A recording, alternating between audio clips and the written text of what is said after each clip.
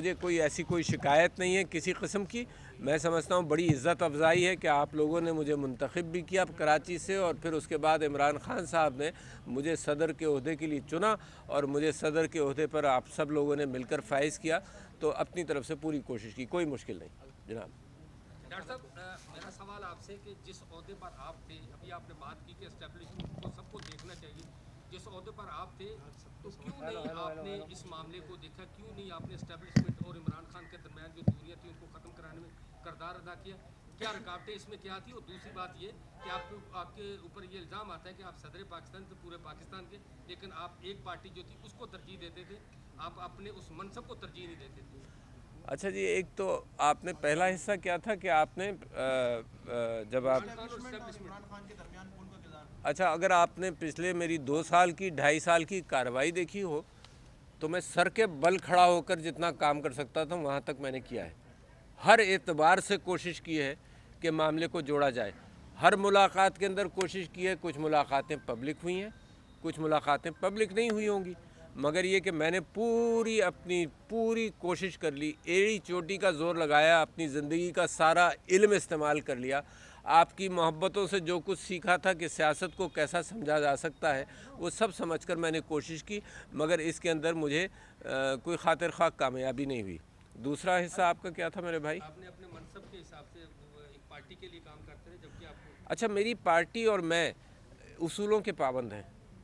मैंने जितनी भी सियासत पाकिस्तान में की है उन 1969 से मैंने सियासत के अंदर हिस्सा लेना शुरू किया तो उसूलों के पाबंद रहा हूँ मैं। और उसूलों को, अगर पार्टी, उसूलों की पाबंद रही है तो मैं पार्टी के उसूल सिर्फ़ इस वजह से उसकी पैरवी ना करूँ कि क्योंकि ये पीटीआई के उसूल हैं, लिहाजा मैं उससे दूर रहूँगा। तो मैंने पार्टी के एतबार से नहीं, मैंने उसूलों के एतबार से, मैं करप्शन के ख़िलाफ़ रहा। कौन आदमी है जो कहेगा यहाँ पर कि करप्शन के ख़िलाफ़ नहीं होना चाहिए? पार्टी का उसूल, बुनियादी उसूल ये था कि अकाउंटेबिलिटी हो, एहतसाब हो, उसके ऊपर मैं कायम रहा हूँ। पार्टी का बुनियादी असूल ये था कि जमहूरी अकदार हों उसके ऊपर मैं कायम रहा हूँ। तो वो आज भी मैं अक्कासी कर रहा हूँ तो पार्टी की अक्कासी नहीं कर रहा। मैं तो आपसे ये कह रहा हूँ कि मैंडेट को को, को सही तरह से उसका रिफ्लेक्शन होना चाहिए। तो ये पार्टी की अक्कासी तो नहीं है। ये तो मैं सारी पार्टियों की बात कर रहा हूँ। ये सारी पार्टियों ने ये बात कही है चाहे वो पीपल्स पार्टी हो उसने कराची के इंतबात के बारे में कोई बात कही है चाहे वो मौलाना फजल हो तो ये पार्टी की बात तो नहीं है मैं तो पाकिस्तान की बात कर रहा हूँ और करता रहूँगा इन जी। आपका है आपके इमरान मौजूदा गैर हुक्मरान- आईनी काम को काम को जो है सपोर्ट किया और आपके खिलाफ आर्टिकल सिक्स के तहत मुकदमा चलने चाहिए। तो अगर कि किसने कहा जरा बताते जाओ। ये नहीं है किसने कहा आर्टिकल सिक्स पे चलना चाहिए। ये कोर्ट का फैसला है क्या? नहीं अच्छा आप कह रहे हैं। आप कह रहे हैं। नहीं नहीं मैं बताते जाओ सवाल की बात होती है। सही बात मुखालफी मुखालफिन? नहीं मुखालफिन। गैर आईनी काम थे उसको सपोर्ट किया हुकूमत तोड़ने के हवाले से भी आपने सपोर्ट किया तो आपके खिलाफ जो आर्टिकल सिक्स के तहत मुकदमा चलने चाहिए तो इस पर आप क्या कहेंगे? सर इसी में ऐड कौन कौन कह रहा है? ये बताते जाओ ना तो मैं उसी को रिस्पॉन्ड करूँ। मुखालिफिन? अच्छा बहुत सारे मुखालिफ अच्छा ऐड करो इसी में ऐड करो बता दो। मौजूदा हुक्मरान यानी कि नून लीग पीपल्स पार्टी और दीगर जो उनके हम नवा हैं वो ये कहते हैं कि आपने तमाम गैर आईनी कामों को सपोर्ट किया। बहुत अच्छे। आपने बाज़ औक़ात अपनी आईनी ज़िम्मेदारी पूरी नहीं की यानी कि बहुत अच्छे। मुख्तलिफ़ मकाम पे ओथ नहीं लिया। आप मुख्तलिफ़ मकाम पर। मुख्तलिफ़ जो इवन मौके आए थे जैसे आपने निगरान हुकूमत जब बनी पी डी एम की तो आपने उस टाइम उनसे हल्फ नहीं लिया। आज मैं हल्फ लेकर आ रहा हूँ। है ना, आखिरी लम्हों में आपने अच्छा आखिरी लम्हों में। जब नहीं लिया था? जब नहीं लिया। अच्छा अच्छा। ठीक है। तो ये अगर लोगों के इल्ज़ाम हैं तो कोर्ट भी मौजूद है, अदालत भी मौजूद है। अदालत में जाएँ कि मैंने हल्फ नहीं लिया था, है ना? उस वजह से जो कुछ हो सकता है वो कहें और आर्टिकल सिक्स के तहत अगर मुकदमा चलाना है तो वेलकम चलाएँ। मगर ये कि मैंने आइन की पासदारी की, मैंने जो मुनासिब समझा वो किया, मैं कोई बहुत बड़ा आइनी एक्सपर्ट नहीं हूँ। मैंने जो बेहतरीन मशवरा मुझे मिला उस एतबार से किया और कोर्ट ने भी ये नहीं कहा जजमेंट के अंदर मेजॉरिटी जजमेंट को अगर आप मानते हैं तो कोर्ट ने आर्टिकल सिक्स का कोई ज़िक्र नहीं किया। अब उसके बाद अगर आप चाहते हैं उसके बावजूद कोई आर्टिकल सिक्स पर मुकदमा कर ले तो खुला हुआ है मामला।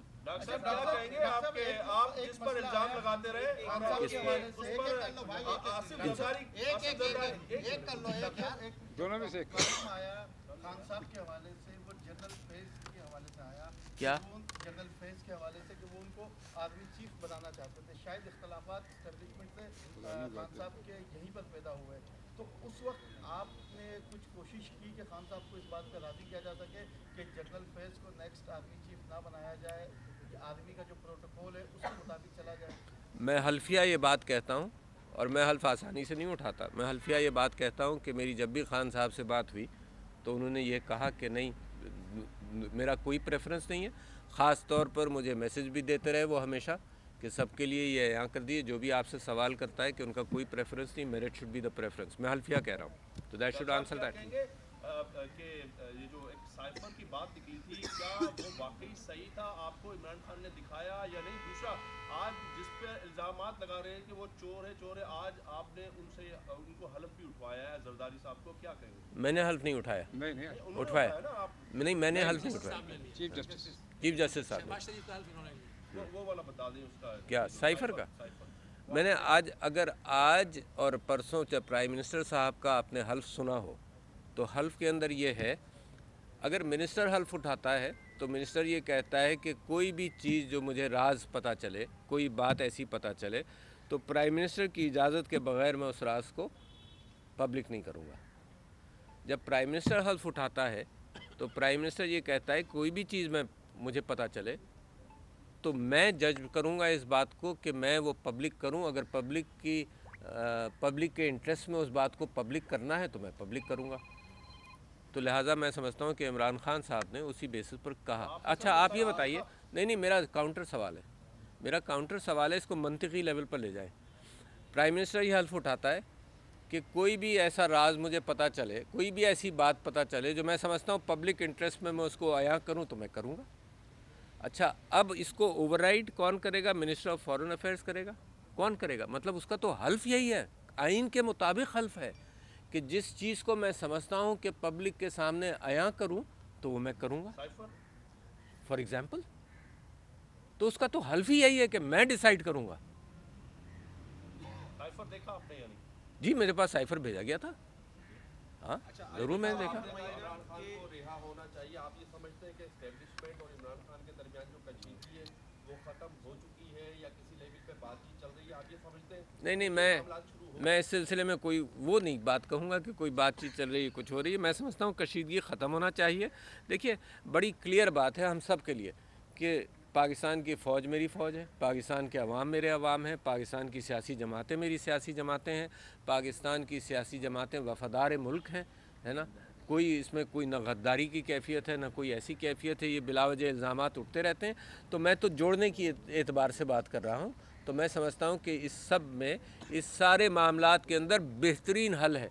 मैं आप लोगों के सामने मिसाल देता रहता हूँ कि कोविड के अंदर पाकिस्तान ने तीसरे नंबर पर आया दुनिया में हल करने में। उसकी वजह क्या थी? कि फ़ौज और सिविलियन हुकूमत एकजा हो गए। उसकी वजह ये थी कि सबने मिलकर काम किया और दुनिया में तीसरे नंबर पर आप आ गए यार। स्पेन और सारा यूरोप तबाह हो गया। यहाँ हिंदुस्तान में लोग मरते रहे। तो मेरा अभी भी वही प्रिस्क्रिप्शन है ट्राइड एंड टेस्टेड प्रिस्क्रिप्शन है कि जिसमें पाकिस्तान ने कामयाबी हासिल की तो अभी भी मुल्क को जोड़ दिया जाए ये मुल्क अचानक तरक्की करेगा। अदालती रेफरेंस आपके पास आया था इस वक्त जो चीफ जस्टिस हैं फाइज ईसा साहब जस्टिस फाइज ईसा साहब के हवाले से। अमूमी तौर पर जब सदर के पास कोई रेफरेंस भेजा जाता है तो वो खुद उसे कानूनी तौर पर देखता है। लेकिन आ, इस मामले के अंदर हमने ये देखा कि ये रेफरेंस आपने मनोवन आगे भिजवा दिया और बाद में फिर आपने इस पर रिग्रेट ज़ाहिर की कि ये गलत किया मैंने ये मेरी गलती थी इसमें तो सब कुछ कह चुका हूँ। हाँ, अब आज नई बात क्या पूछना चाहते हैं? चाह रहा हूँ कि क्या आप समझते हैं कि मामलात वहीं से खराब होना शुरू हुए जो बढ़ते बढ़ते बढ़ते फिर आगे इस 9 मई के वाकयात के बाद से, लेकर आज तक की सिचुएशन पर आए? नहीं मैं नहीं समझता। conflict मैं नहीं समझता पर ये? मैं नहीं समझता हूँ कि वहाँ से कॉन्फ्लिक्ट शुरू हुआ वो भी एक ऐसी कैफियत थी जिसमें खान खान इमरान खान साहब ने खुद ये बात आपके सामने रखी है कि वो समझते हैं कि वो रेफरेंस उनको नहीं भेजना चाहिए था। अच्छा से मुलाकात मैंने आज ही मैं अब आपसे ये कह रहा था कि अपने वकीलों से मैं गुजारिश करूँगा कि वो कोर्ट में दरख्वास्त दायर कर दें कि मैं उनसे मिलना चाहता हूँ। डॉक्टर साहब सवाल मेरा आपसे ये है कि क्या जो कहा जा रहा है कि 9 मई में जो लोग 9 मई के वाक़यात में मुलवस हैं आप क्या कहते हैं उनको सज़ा होनी चाहिए या नहीं? और दूसरा, जो पहले मैंने सवाल किया था, उसमें अभी आपने कहा था कि मैंने इस्टेब्लिशमेंट से और इमरान खान से बहुत कोशिश की, मनाने की नहीं उसमें हटदर्मी किसकी थी? की? इमरान खान की? आप क्यों चाहते हैं कि मैं किसी एक की हटधर्मी का ज़िक्र करूँ? अभी भी मेरी कोशिश ये है कि सब जुड़ जाएँ। दूसरी बात आपने 9 मई की आप ये जहन में रखिए कि एज प्रेसिडेंट ऑफ़ पाकिस्तान मैंने आइन की पासदारी करता हूँ और मैं हमेशा जब मुझे उन्नीस सौ उनहत्तर के अंदर गोलियाँ लगी थी तब भी मैं सड़क पर यह कोशिश कर रहा था कि लोग तोड़फोड़ मत करो और घर जाओ। और कर्फ्यू लगने वाला था।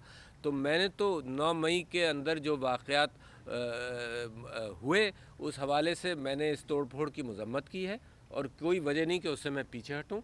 मैं समझता हूँ कि इंसाफ का तकाजा यह है कि तहकीक़ात करके जिनको सज़ा देनी चाहिए, जिन्होंने कानून तोड़ा, उनके लिए सज़ा होनी चाहिए। डॉक्टर साहब, पहले मैंडेट